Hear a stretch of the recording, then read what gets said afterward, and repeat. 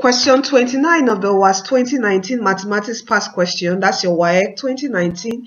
It says which of these values would make this 3p minus 1 divided by p square minus p undefined okay? This question always one question on undefined always comes out for, uh, on your WAEC so just make sure you know it okay?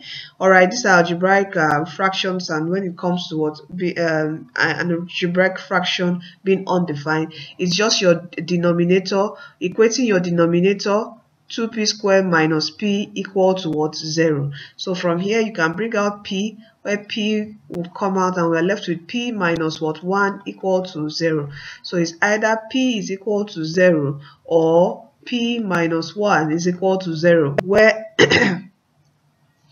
where from here p is equal to take this minus to the other side we have a what positive one. So is i the, this particular equation is what undefined at p equal to 0 or p equal to what 1 all right so from our answer we have one of um, the values of p here which is 1 so our right option here is option a. All right so p equal to 1 will make this particular algebraic expression what? Undefined. And our right option here is option a, which is what? 1.